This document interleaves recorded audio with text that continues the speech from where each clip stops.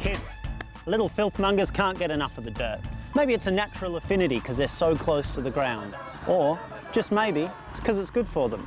The immune system's most important job is fighting germs. But in our sanitised houses, chock full of personal hygiene products and antibacterial cleaning gear, germs are at an all-time low. Without exposure to germs, our immune systems get bored. Like bored children, bored immune systems get up to mischief. They divert their attention away from germs and towards recognising and responding to allergens that aren't actually harmful. And as the little tuckers grow, their immune systems can develop all sorts of unnecessary allergies. Bad news.